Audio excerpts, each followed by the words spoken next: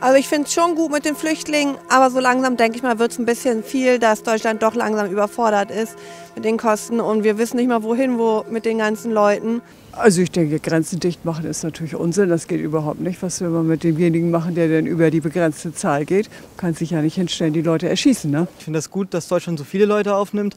Aber irgendwann kommt Deutschland halt auch an seine Grenzen. Äh, aber ich denke, ich vertraue Merkel eigentlich. Ich finde, sie ist eine gute Politikerin. Also ich finde, die Frau Merkel hat, hat überhaupt nichts im Griff und äh, eigentlich müsse sie weg. Ich sage, das ist überhaupt kein Kost und das würde ich auch nicht als Politik bezeichnen. Jeden reinzulassen ist keine Politik. Und die Grenzkontrolle ist eine Farce, weil die Hälfte oder mindestens die Hälfte hat keine Ausweise. Ich denke mal, sie hat keine andere Möglichkeit. Äh, sie versucht mit der Türkei natürlich ein äh, Agreement zu finden. Und ich denke, das ist die beste Lösung, dass sie versuchen, eine europäische Lösung zu finden. Es ist einfach zu viel.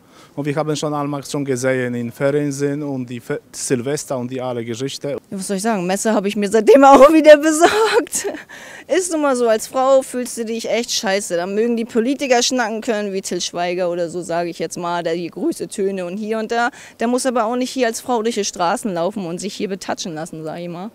Der kann das mal einfach so sagen. Wir sind diejenigen, die hier stehen und hier durchlaufen müssen und das ganze Elend ertragen müssen, sage ich mal. Ne? Klar sind die Leute, die hier kommen und Ärger machen wollen, die haben hier nichts verloren, ne? aber für die Leute, die hier wirklich ähm, eine neue Hoffnung aufbauen wollen oder ihre Hoffnung hier suchen, ist es natürlich einfach schade, dass die anderen, weiß nicht wie viel Prozent das sind vielleicht, aber denen das einfach verbauen alles. Ne? Ich finde es gut, dass wir sie mit aufnehmen, aber ich finde, es muss auch eine Lösung gefunden werden, wie es halt später weitergeht.